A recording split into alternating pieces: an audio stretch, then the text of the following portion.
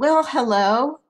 It's another month again, and welcome to the Verse Virtual Monthly Reading. Uh, our two wonderful features are Lois P. Jones and Melissa Studdard, and we our custom is to begin with our features. So, wow, I have a lot of people to let in. So, um, Jim, I wonder if you could, after I let in these last lot, whether you could let some people and I could make you co-host. That would be great. All right, let me do that right now before anything else happens. There we go.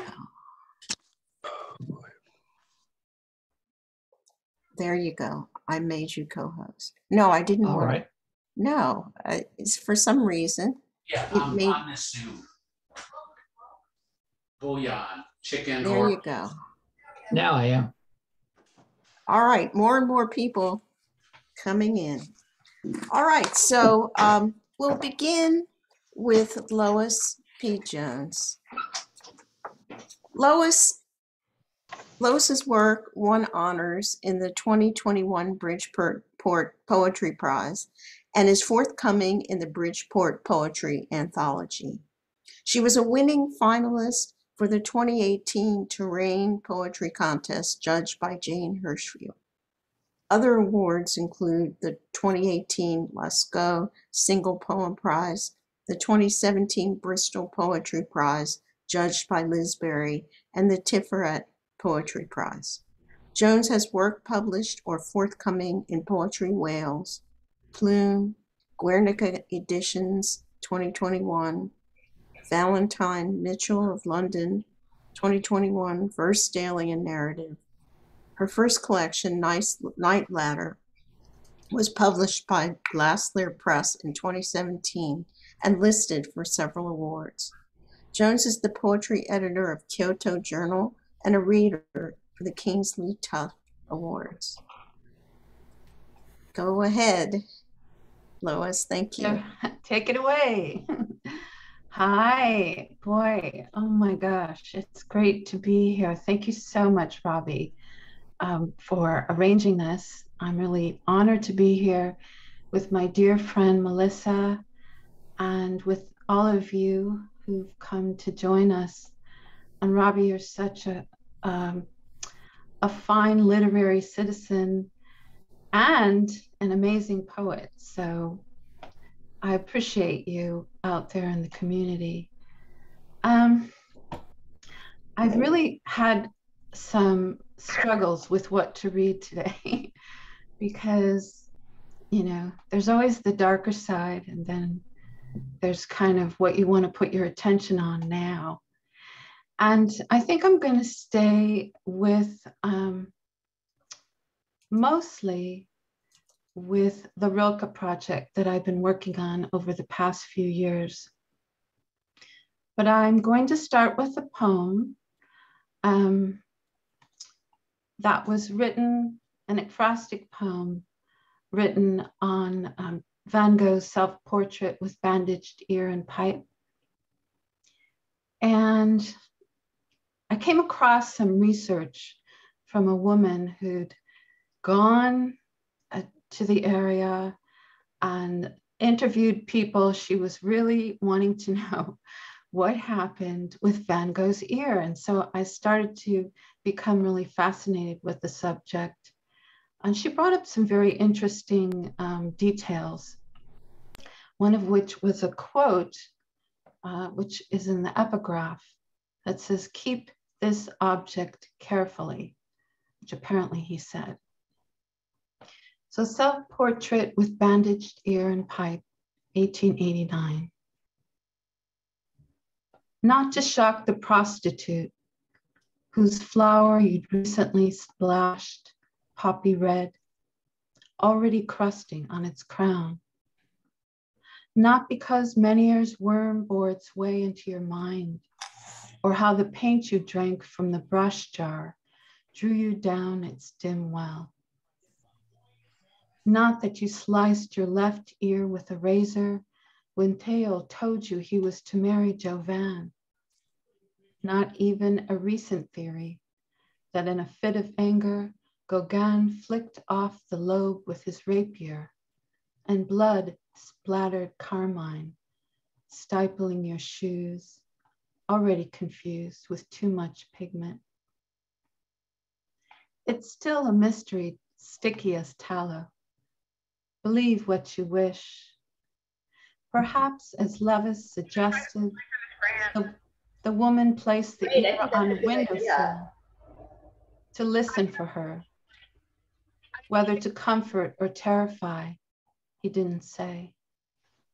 But yesterday, as I walked the moss ridden path, I saw a single calla lily listening from the forest floor, sheltered by the pines and surrounded in jade, looking white as an apology.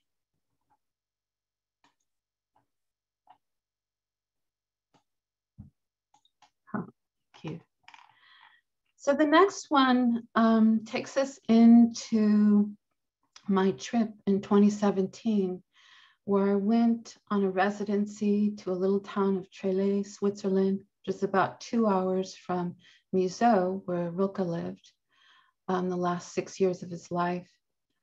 And um, also happens to be near Geneva, which I lived on and off in. So it was a real a kind of a pilgrimage to go back there and revisit some of the haunts that I'd been to. And one of my favorite, favorite places was a medieval village called Ivoire. And um, I said, if I ever get married again, I'm I'm going to Ivoire, and that and that is where it's going to be. And everybody's going to have to to fly there. So um, this is a poem that is a dialogue poem between my friend who went with me uh, to Geneva and to Muzot in Raron, where Rilke was buried. And yeah, so it it includes both her voice and mine. Ivoire. And here is the castle. It juts from land like an ancient warlord as the lake gathers diamonds in its hem. All is quiet, except for the dogs. except for the bells ringing the hour as we are brought through courtyards of stone. Shop fronts offer jeweled fingers to us, waiting to be kissed.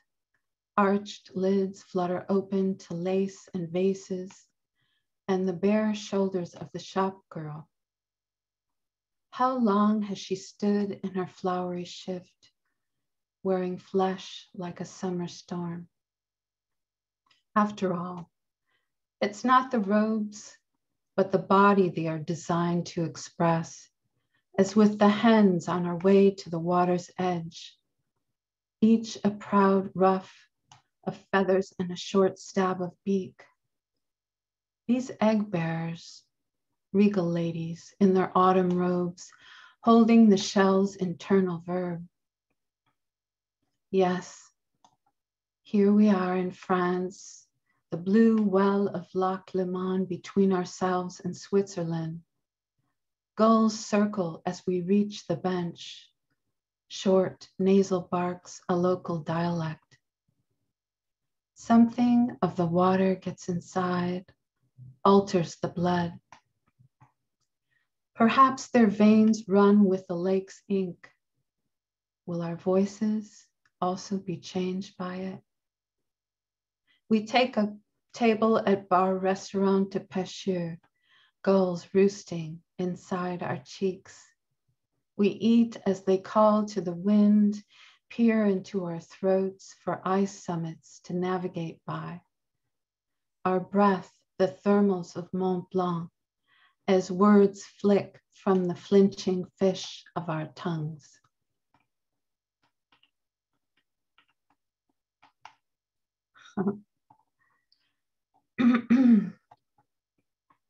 so my journey with um, this project began before I heard about Frida Baumgartner, who was Rilke's uh, last housekeeper and lived with him from 1921 till around 1926.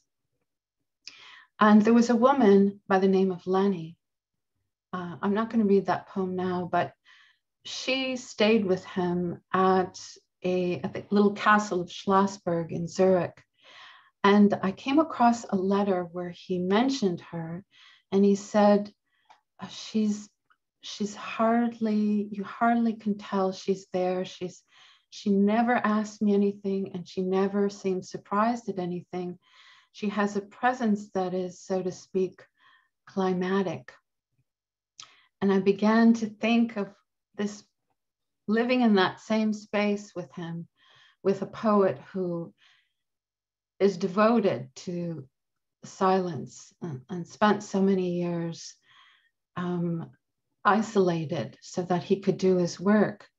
And then I I did a little bit of research and I came across a memoir in German, this little, vague little pamphlet stapled um, on the internet and traced it down, found a copy of it in Japan, gave it to, um, to a friend of mine, Eva West, who's here today, and actually is from Switzerland and did a, and she did a beautiful translation of it.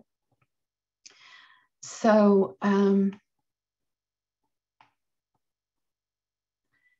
so this first poem starts with Frida on the train for the first time. She's going to meet him. And it begins with a little quote from Frida. Against all expectations, I, a young and inexperienced girl, was selected out of many applications to keep house for the poet Rainer Maria Rilke at Muzot. And by the way, there was no running water and no electricity uh, in this old 13th century chateau. The sky is complicated and flawed, and we're up there in it opening its letters, crossing countries to clean someone's clouds, crossing mountains stacked with chanting, stacked with secrets, strange tongues that want to define us, that refuse to taste us. As in tasting the last honey dipped slice of apple on this train, I watch the sun spark rivers without faces watch my face disappear in the passenger window, disappear like Borges and never return. He won't believe I've read Borges, won't believe I can attend to his silence. Silence is a letter you never open, a ball of yarn knitting sky in a corner.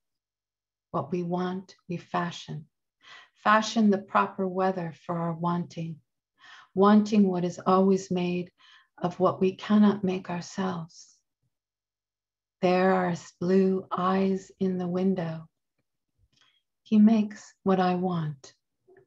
I will fashion what he needs. I will make a cowbell of wishes. I will not ring it.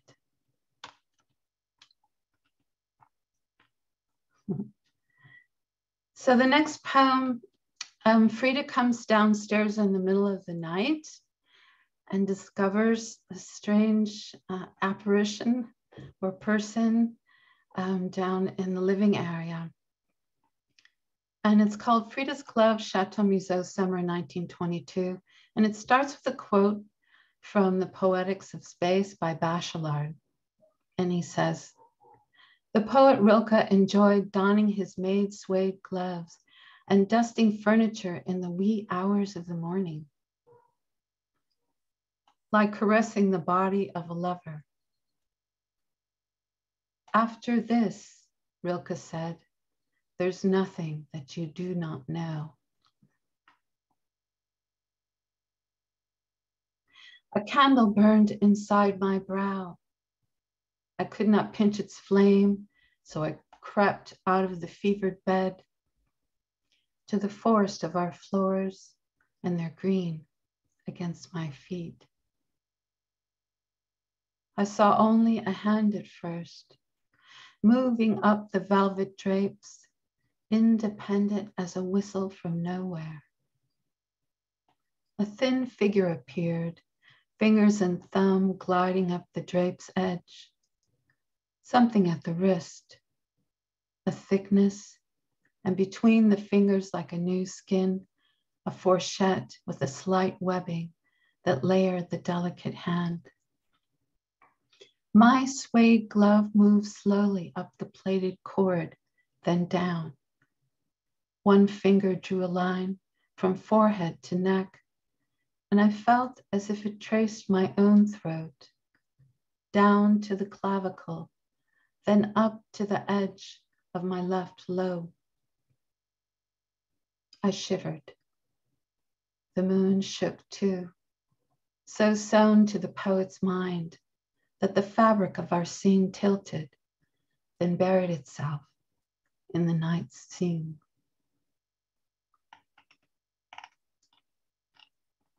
So, um, so this is the last poem I'm going to Um, read. I'm sorry. Um, you've run out of minutes. I Oh. I hate to stop you, but This is this is my last poem. So, um, okay. yeah.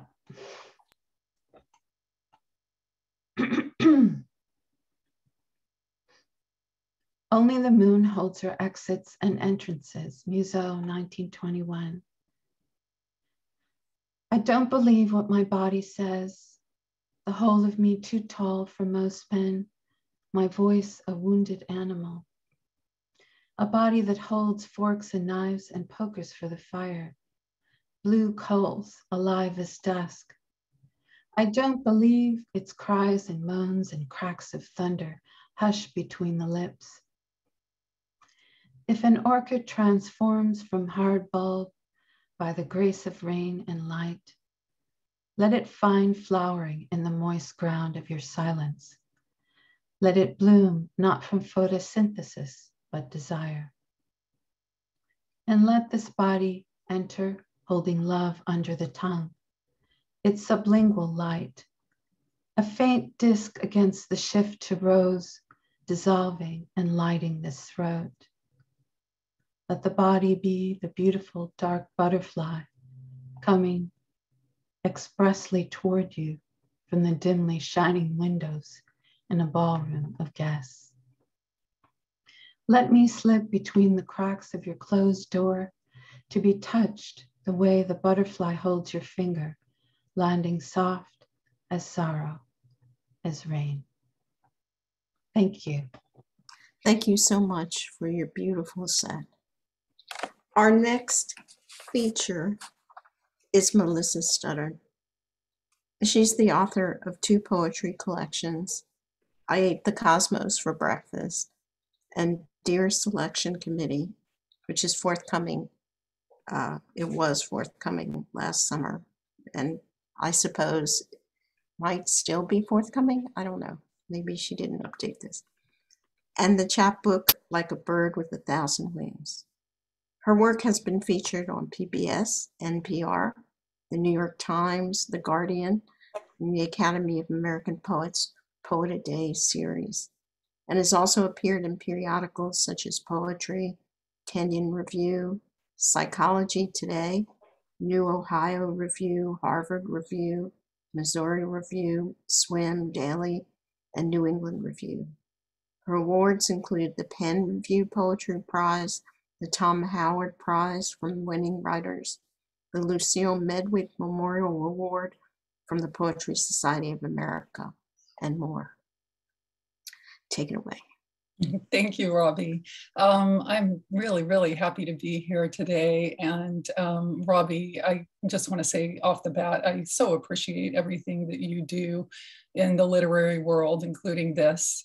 And, um, you know, I know that it, it takes a little time away from your own creativity to be doing these things for everyone all the time. And I really appreciate it. And uh, also, I'm so honored to read with Lois today. She's a dear friend of mine, and um, I'm just, you know, hang on to every word that she reads for dear life. I mean, sometimes it feels like that's what poetry is for us right now. So thank you, Lois, for that beautiful, beautiful reading. Um, and I have to say, I love not just your words, but your voice too. You have such a lovely spirit, and it really comes through, you know, your voice and your reading and everything. So um, I can clarify about the publication. I actually um, just put the wrong year on that, Robbie. I'm sorry. It's summer of 22 that the book is coming out. So that book, Dear Selection Committee, is coming out this May, and I'm very excited about it. So um, I, if you can't tell already, have a touch of ADHD. uh, so I heard people talking right before the reading about how, you know, whether they work on one thing at a time or a bunch of different things all at the same time. And I'm always working on so many different projects at the same time. So I figured I'd read a little bit from each of my books.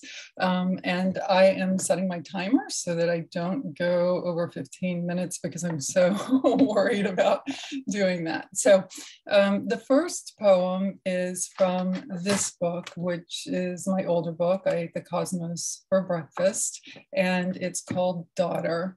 And um, it's pretty self-explanatory. So it's for Rosalind. Because I was a cave and you were the bird that flew through my hollows. When they bathed the pain away, the light on your face looked like peace after a long and onerous war.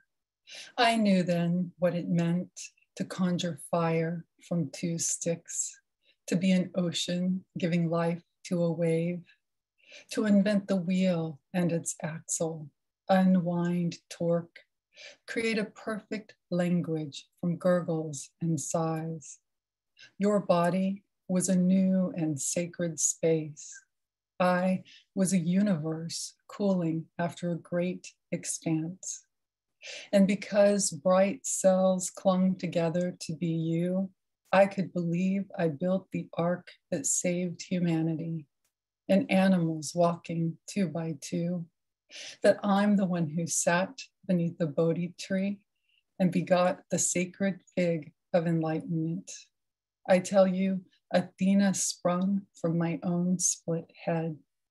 Because emergence is a teaching, because your hands and feet were softer than sand, because before there were canyons or valleys or lakes or winds, you curled your hand around my finger and with your touch delivered the all. So, my next poem is from this book. This is a newish sort of chapbook. Um, it was in collaboration with the musician Christopher Theofanidis and um, an artist, Alyssa Vendramin.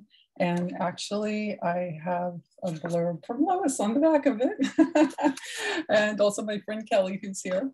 So, um, this book is basically based on the um, Conference of the Birds by Attar. So if you know that story, it's about a group of birds speaking a spiritual, seeking a spiritual seeker. So seeking a spiritual leader, sorry.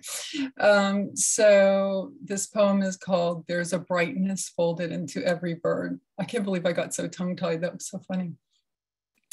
There's a brightness folded into every bird, but the bird doesn't know it. The bird is 30 birds who soared out of dreaming to invent sky. 30 birds flying in the formation of a bird. God tells them, Open, O moonbeak, O silver black, O sliver of luck. And the bird says, Break me until I'm whole. God says, Empty, and the bird spills a splendor of jewels from their 30 beaks into the valley. Don't think I'm a diamond, God says. Find me. And hands the bird a map back to the inside of its own bone, then disappears. But the bird doesn't understand the question. 30 birds split into a thousand that search under everything stone, fabric, sun face, gold, until they find no God. Now the beak yells, Take me, I have no reason. And an arch of wing lifts sun up towards light, and a thump under the chest answers yes, and yes, and yes, and yes. So, thank you.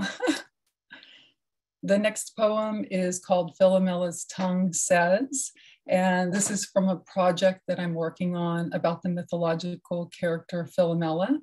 And she, if you know this myth, she um, was raped by her sister's husband. And then um, when she tried to talk about it, he um, cut out her tongue. So it's not so nice, but it's, for me, it largely symbolizes um, the disempowerment um, that comes along with such an act. And um, you know, kind of focusing on the aftermath of the story and the sort of trauma that follows and how that is sometimes as bad, oftentimes as bad as the thing itself. So um, Philomela's tongue says, Philomela's tongue says you could mistake grief for a diamond, the way it shines when cut into, like fish eyes in a boat's drain.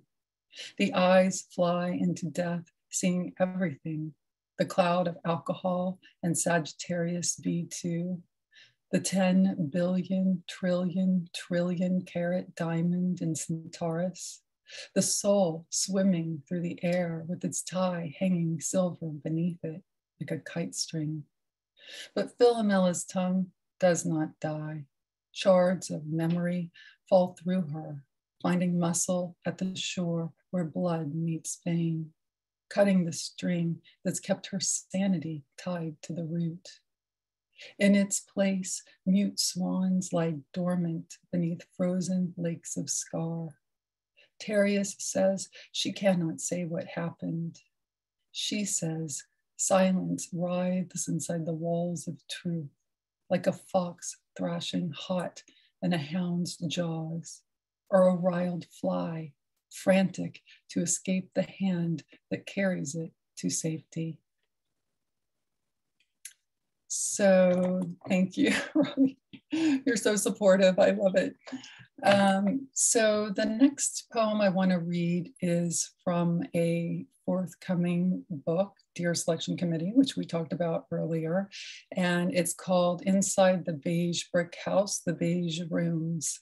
And um, the the title is also the first line.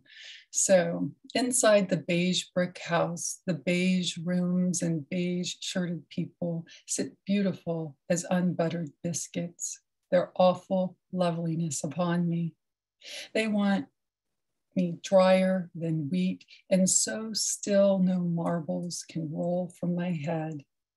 I want summer flashing the yard red with begonias. I want ladder backed woodpeckers knocking at the gables and crepe myrtle blossoms blown down like hot pink cotton in a storm.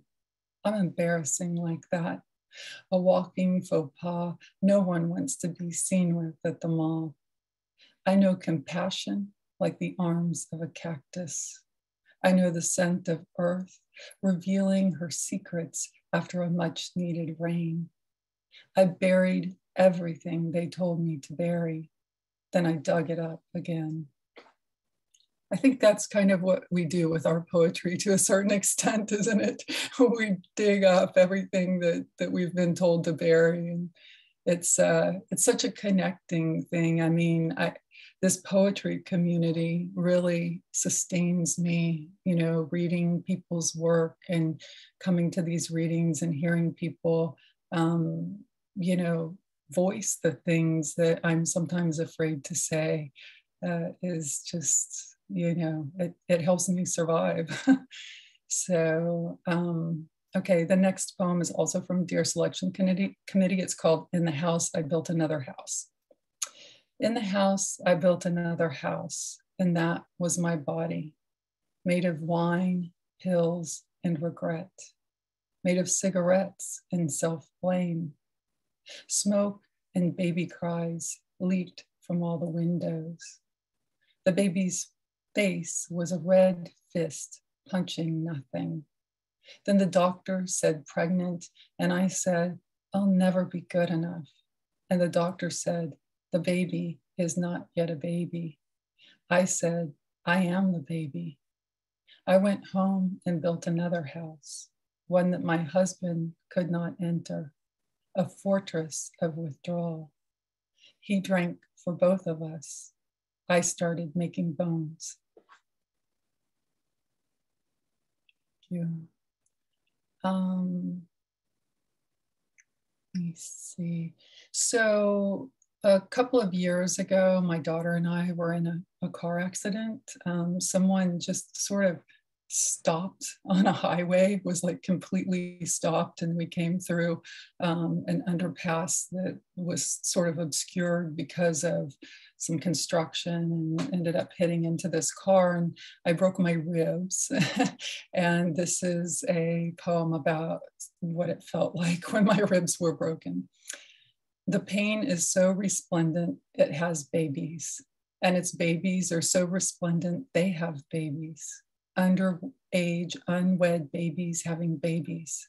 Someone has built their delivery room in my ribs, and without restraint, they come and go, carrying babies that will birth more babies in the parking lot before realizing they are babies. Flamboyant babies, refusing the swaddle of pink and blue. They leave the hospital in sequined evening gowns to perform the burlesque of pain and everyone in the audience has their shirts unbuttoned to nurse the babies they carry everywhere. And the speakers, instead of making sound, make babies, and the curtains open and close on a pulley of pain operated by the babies. And when the magician comes on stage, she saws the pain in half, and there are two more pains that saw themselves in half. And now the pain knows how to saw itself to make more pain. And there are pain babies everywhere, and there are no rabbits or doves in the hat, just more babies. And when the cocktail waitress comes around, she serves little cups of pain, shots of pain with pain backs on the rocks and pain crudités on leafy green beds of pain. And when I tried to leave the show to go home, the MC announces my next set. And I realize it was just me on stage all along, having babies and babies and more babies with no epidurals. I realize it is me who has conceived and mothered and nurtured my pain all along. So obviously that became about a lot more than the physical pain that I was feeling. Um, I, I think uh, I was also thinking a little bit about how we protect ourselves in order to avoid getting hurt, but by doing that, we hurt ourselves. Um, so yeah. Um, I, will read two more poems. Um, let me see. Uh, then trying to decide what I want to read next. I'll read Migration Patterns, um, which is also from the forthcoming book, Migration Patterns. In the dream, I tell customs my llama is a goat, because sometimes the heart is not large enough to hold what is beautiful if the mind finds it exotic. Sometimes the mind mistakes itself for a hoarded piece of land, and little campfires spring up everywhere. Smoke slinks through chain link. Small hands and shoulders capsize beneath a dehydrated, salt sick sun. In the dream, I carry mountains through international waters. I carry the hills their babies to safety. Sometimes I wave away a predator and there is fire in my hand, and my hand does not want to be part of a human body. It wants to belong to the llama, the goat, the hills, the mountain. In the dream, I've got the North Star in my trunk. I'm driving it across a border. I'm taking it to a different part of the sky. It can't stand what it has seen. What we need is not a fixed point. What we need is a world anthem that everyone knows the words to. One that says, Come in, come on, come over, I've got you. In the dream, light leaks from thin cracks where the trunk door meets the body of the car. The star says, Put me on the dashboard and I will guide you. The officer says, Illegal. You can't take a star to another part of the sky. And I say, Watch me. I say, I've got enough light to do anything. And my final poem is also from Dear Selection Committee. It's called Untitled. Does everyone have a poem called Untitled? I think we all should. my address is nostalgia for things that never happened. I wander in and out of coincidence, dragging a wagon full of unrequited lovers behind me. I visit the infirmary for broken planets and ill poets, where I bandage metaphors and remove stitches from busted couplets. All will be well again. Poets restored to their regular neurotic tendencies, free to enter emotional and psychological terrain that would make others run panicked from the landslides inside their own minds. Oh, what we embrace to avoid the life we've been given. Oh, what we embrace to live the life we've been given. Call everything you've ever done untitled. It's the untitled. It's the only honest way to create. Generate a disaster in your life to sidestep the true catastrophe of your life. Oh, there's a universe with a bell around its neck purring outside your bedroom door. Let it in. Oh, I tried to make this about you, but it's about me, me, me. My awful claws, my electric arch, bats and blue jays hunted from trees. I thought I was good, but I never was. I'm coming home with a bleeding angel between my teeth. Open the door to the heart's door. Imperfection is the only muse, and I am her handmaiden. Please love me anyway. Thank you. I am so looking forward to the open mic. Thank you so much for that beautiful set of poems. I mean, one line after another was gorgeous. Thank and you. both of you together, it's, you know, a surfeit of loveliness. Um, we can start uh, on the open mic. I do apologize if you, if my cat starts yowling. He isn't feeling very well today, and he's been throwing up all morning. So I apologize in advance should that happen. Our first person at the open mic uh, is Dick Westheimer. But before Dick starts, uh, please if you'd like um, to our features, please put links to your books up so people can get some for themselves if they don't already have them. I'd really appreciate it because I didn't think to do it myself. Thank you. So our first reader is Dick Westheimer, and it's um, two poems or five minutes. Well, I was totally taken off guard because I didn't know I had signed up for an open mic, but I always have poems available. So I'll read the one that's at the top of my uh, um, top of my desktop here. Um, it's called The Poem in the Mirror.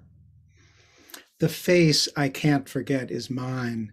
In the mirror at 3 a.m., when I see these tired eyes that have stared so long at the empty space at the end of a line of one poem on one page where I've searched for one word, a true word, the perfect word that will make this stanza sing like the ring of a Saxon's hammer, echo like a verb tumbled from Babel's tower, one barked and spit by Kurds and Cossacks and Frankish queens.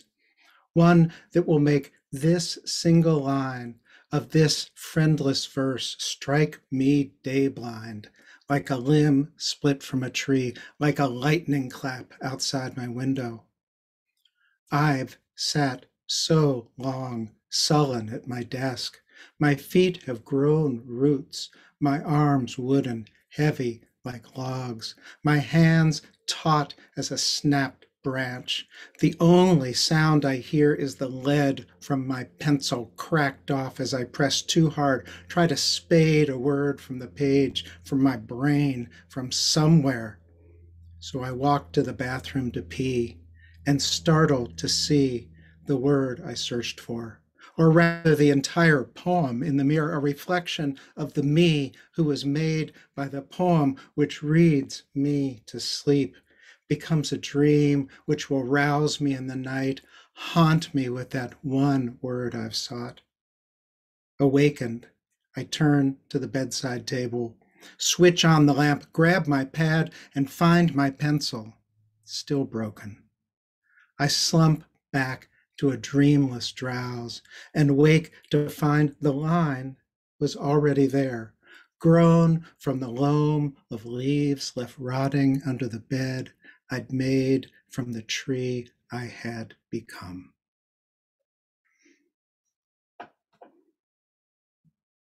Thank you. I'm glad that one was at the top of my page. Thank you very much. Uh, our next reader is Mark Petrie.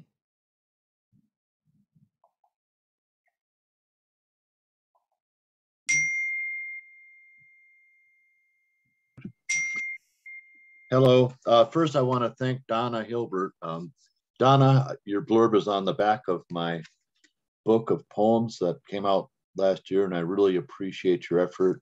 And I appreciate all that I've heard from you over the last 20 years. Uh, Lois, I got to hear you last night read that invocation to not, Thich Nhat Hanh, and it really impressed me that you chose to read something that was really beautiful, not your own. Melissa, you are one of the most brave people I have ever heard in a long time. Brave, brave, brave. You keep preaching, sister. I mean, that was really gorgeous. I'm going to read two quick poems. This first one is a persona poem I've never read before. It came to me while I was writing my first novel, and I have no idea who the character is, but I fell in love with her. So this poem is called Alan. A young red-headed guy who reminded me of you, Alan, walked up to me with a swagger, asked me to dance. When we danced, he looked at me with a smile curled at the corner like yours. We went out to the patio and smoked a joint, taking in the bonfires on the beach and the white foam rising out of the dark sea. He asked me to walk on the beach. I wanted to walk with you, Alan, but you had flown away like a bird to another's nest and September was closing in on October. He kissed me a couple times, laid me in the sand, entered me. It wasn't you, Alan. My eyes closed. I wept inside. I wept my clear, dead eyes dry until he finished. He asked me for my phone number. I gave him yours. I walked to the edge of the sea, took off my jeans, threw my soiled panties into the surf, fell down to my knees, my head in my hands. I retched and vomited the taste of the redhead out of my system. I called for you, Alan, between each spasm, called out your name into the rolling surf. You did not answer. Remember how we held each other, how we were such sweet lovers. Oh, Alan, God damn you and all men like you. Oh, Alan, I can't say how much I love you. I shiver with shame and shake with loneliness as I slip my naked legs back into my jeans. And um, this is a poem called The Way Home.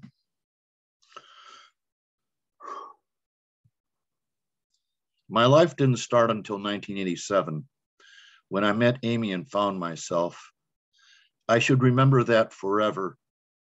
Whenever life spits bitter seeds my ways, Otherwise, a washed up never has been could never have found his way home, much less given up the bottle, the pills, and the anger. Anger is the hardest to part with. I wake up at 2:30 a.m. to a pillow covered with cold sweat. Leaving a bed with my lover holding my hand, I lay on the living room sofa, awake until morning's first gray light seeps through the slats in the blinds. When I return to the bedroom, Amy strokes my arms, chest, and forehead, sweet talked me back to sleep. I wake up to a new day around 8 a.m. and take our son to summer school. This is not a confession, it is a love poem.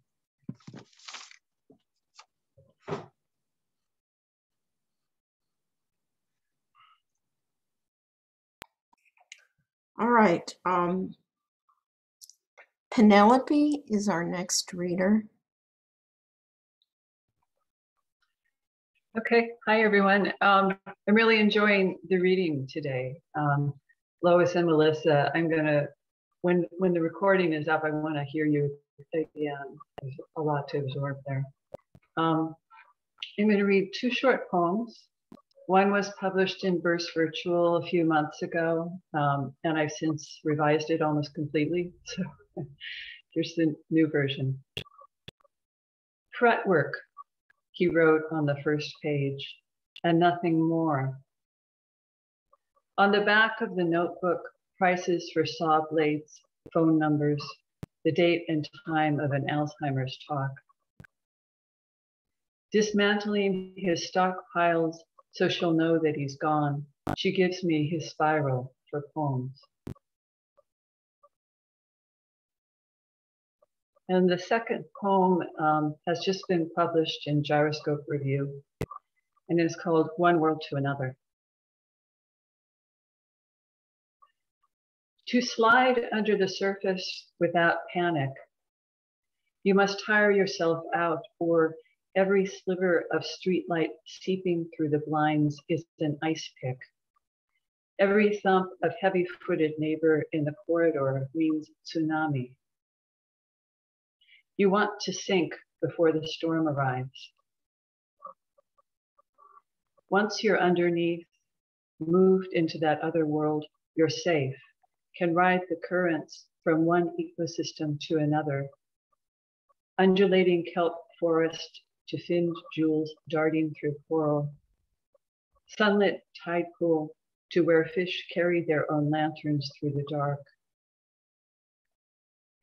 A speck catches afternoon light like a slow moving comet. You're there and then you're gone. Thank you for listening. Our next reader is Caitlin Bucksbaum, and I want to acknowledge um, that she's been putting information about our features um, into the um, into the chat. So um, Thanks a lot, and go ahead and read your poems. Thanks, Robbie. Everybody hear me okay? I got a new setup, so I want to make sure I'm connected to the right microphone. um, yeah, so I haven't been here in a while. It's good to be back and see some familiar faces, hear some good work. I thought I would read a couple poems in Press Pause Press from a couple months ago. And gonna put the link in the chat so you can read them later if you want, or read them while I'm reading them. Um, there's three. The first one is an American sentence, so I'm gonna, it's really short. I'm gonna skip that one though and go to the, the longer poems. And the first one of the longer poems is called Look Up. Whatever steals you away from your smartphone for an hour or two, hold on to that whether it's watching a chick flick or lying on the bathroom floor with your best friend, discussing your hopes and dreams, hold on to it. You never know when you'll look back and hindsight will be 2020 because you forgot to look up from your Twitter puns, Instagrammable lunches, and Facebook resolutions at the time, which has suddenly passed you by. And the second one, on a similar theme, is called gratification. Social media has given us expectations that were never meant to be met, or at least not in the time frame we now demand. We've forgotten what it means to write a letter and wait for the reply, not assuming its absence is anything personal. And there are no likes, emojis, DMs, or comments, no followers or friends to amass for status or credibility in that kind of correspondence. But on a good letter's arrival, there is simply, importantly, delight at having waited and received, having been patient and later rewarded. Thank you. Thank you, Caitlin. Uh, our next reader is Susan Rogers.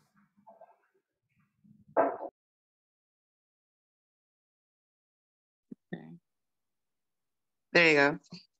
Hi, thank you, Robbie, and um, thank you, um, Melissa, for your beautiful reading, and Lois, of course, always. Um, it's an honor to be here. I, I'm sorry, I, I spaced out and I was fixing my phone when I heard your beginning of this. So are we able to read two poems or how does that work? Or- Two poems or five minutes. Okay, great. So um, I'd like to read um, two poems, and the second one is going to be a haibun, and the first one is a poem that's um, for Princess, uh, the former Princess Mako, um, and it's an acrostic poem from an acrylic um, that I did that just reminded me of her, and um, it's called Mako. The dancers unfold their moon-white arms inside a Japanese silk fan, music of cherry blossoms in wind. In the imperial garden, the emperor's flute trills. A koto calls the grieving, smiling girl who knows and doesn't know where she is going.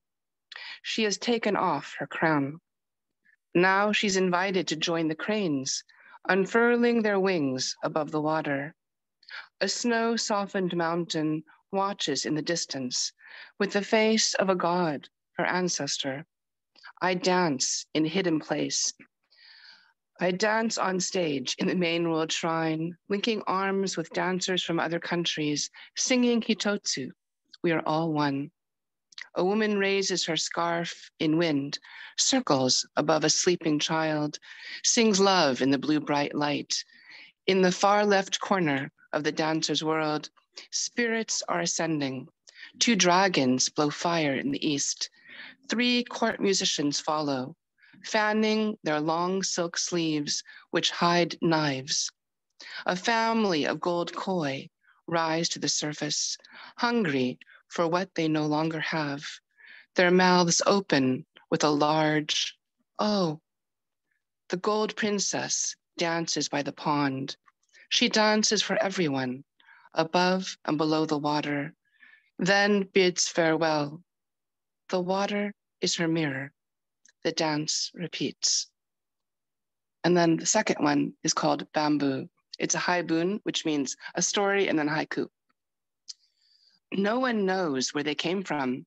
The two bamboo stalks washed up on Redondo Beach, an enigma. No bamboo grew anywhere near the beach. My friends were intrigued by the mystery. They suspected the stocks had traveled from Japan, recalling pieces of wooden furniture found elsewhere on the sand, later traced to Japan after the tsunami. The stocks were pale as cadavers, drenched with water and saturated with salt. One friend thought they could not possibly be alive, but the other friend felt a whisper of hope, sensing at their core they were green.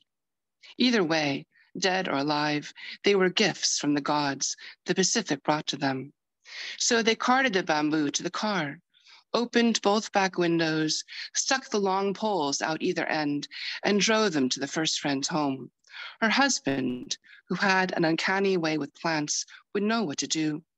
Her husband stuck the stalks in a barrel filled with compost and snow peas. Years went by. The snow peas didn't make it. One day, looking up the hill, my friend and her husband saw the wooden barrel had shattered on both ends. The shoots of lifeless bamboo had come to life, breaching their container. You cannot stop bamboo, the second friend said. It will steep, keep growing no matter what. This Christmas, as we gathered without masks around the dinner table, vaccinated and unvaccinated, for the first time since the pandemic, we did our best to share accounts that would unite and not divide. The two friends smiled and recounted to me the story of the bamboo. Each friend and my friend's husband told a different story. They were all surprised by its resilience, but the second friend was the most enthusiastic. It had grown into a jungle that sways on the hill, she noted. The wind rushes through its leaves, birds fly in and out of its shade. How beautiful the bamboo had become. She paused and repeated once again, you can never stop bamboo. Holiday blessing. After months of hiding, our smiles break through. Thank you. Thank you very much. Um, Trisha Faye Hefner? You still here? I am, and my apologies. I was just about ready to get up, of course. Um, but I do have a poem, and I just have the one. And I wanted to also say uh, thank you, Robbie, for putting this together, and um, Melissa and Lois. Uh, just such a delight to hear both of you. Um, it's really wonderful. Uh, and I'll just let everyone know that um, this poem about ready to read is somewhat inspired by the poet Megan Sterling. And uh, she was on our Poetry Salon um, podcast. So I, I want to uh, invite you all to go check her out and just look up the Poetry Salon cast. And she's going to be teaching a workshop on modern day sonnets for us tomorrow. So if anyone's interested in that, please let me know. Uh, and I'll send you the information. Okay, I found the poem. This is just called uh, an argument for why I'm not writing. Surprised by solitude, it enters the city like a sunken sun, the sadness of doves sitting inside the face of the cosmos. Shadows have come all this way just to curl onto my chest, and the day closes its mouth, looks into the face of a lake. You want to open yourself to music, to fill with the sounds of night birds blowing trumpets. But the mouth of the universe will not be filled by your tiny lexicon. Something is happening in the star gardens above you. Donate your tongue to its silence. Become the solitude of doves, the sadness inside sadness, a firefly blinking against the quiet's perfect glass door. Thank you, everyone. Thank you, Trisha. Jim, would you like to read uh, now or last? Let me go last, please. Okay. I've decided to steal back my spot and to read a couple of poems.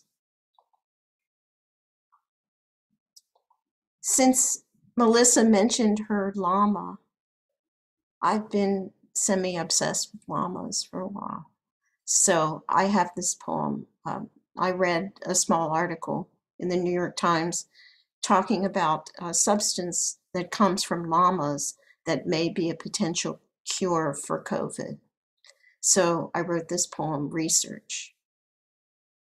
Someone said that research is a blind date with knowledge. Take llamas. I've always liked their silly smiles, their loopy, loping gait. But today, I read that something they produce might be the best defense yet against COVID. That must be why the beasts are smiling, why they're generally relaxed, chewing their cud, standing in a field as though trouble were the last thing on their minds. When the unexpected upends everything you think you know, that's when you're hitting pay dirt. Think of Galileo discovering that Earth and all the people on it were just a pinprick in the universe. You think you're standing on solid ground. It's actually in flux. I'm not sure what keeps us all from falling through into the whir of particles like the workings of a giant trash truck. Learning is a thrill ride, fraught and frightening, frequently disturbing. How many losers must one date before the right person walks into the bar? Unexpected and inevitable, a tribute to the universe with its endless stockpile of surprise. And my second one, Here There Be Dragons. Once maps ended at the edge of the world. These unknown places spawned unruly spirits, vapors issuing from cracks in the packed earth, magnetic shifts that make a nonsense of the ordinary east and west. These open spaces thrilled us by breaking all the rules. Near strange Sedona, saguaro cactuses the size of trees offer arms of full, full of white blossoms to the bees. It's said that energy still gathers there, just beneath the surface, unloosing light shows in the sky, dinosaurs and aliens, as documented in a secret archive no one has ever seen. Trace this to Brodmann's area number nine, part of the frontal cortex responsible for seeing a line of sense into the world, picking constellations out of a star packed sky. Remember those bright flashes people saw at dusk in downtown Tuscaloosa over the deserted Walmart? The perfect circles burned into a field of broken corn stalks, metal monolith high on some Wyoming ridge. We're all looking for traces of the ones who left them. No one on earth could burn a circle quite that perfect. Now hundreds show up on that God-forsaken ridge with Geiger counters, magnifying glasses, seeking a clue just hoping to be transported to somewhere else more congenial than our world. Thank you. Our last reader is the estimable Jim Lewis. First, I want to say thank you to Robbi because she has been so consistently good about organizing these readings. Um, the people she has invited have just been spectacular. And I noticed, Melissa, you submitted to Verse Virtual in its early days, and I would love to see something from you again. Lois, I don't think I've seen anything from you in Verse Virtual. I would love to see something of yours in one of our upcoming issues. So I have a single poem to read to you that, um, like many poems recently, has been sparked by a comment that someone made that just sort of clicked with me. The title is called Broken Toothed and Waiting for the Novocaine. Isn't it just like my whole life's been? Something breaks that I can't fix myself, and I end up waiting in one chair or another where the cure, though it promises relief, always comes with its own measure of pain.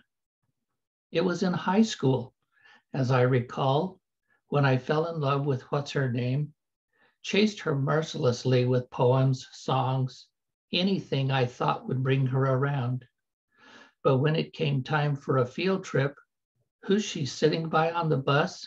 Yep, my best friend. That was cruel, especially when he shrugged his shoulders and mumbled, Well, she said she likes me. What was I supposed to do? We're still friends. I don't know where she ended up. It wasn't with him. Broken heart, broken tooth, broken mind, they're all the same. Unfixable alone, so you'll find me parked in some reclining chair, broken toothed and waiting for the Novocaine. Seriously, where's that Novocaine?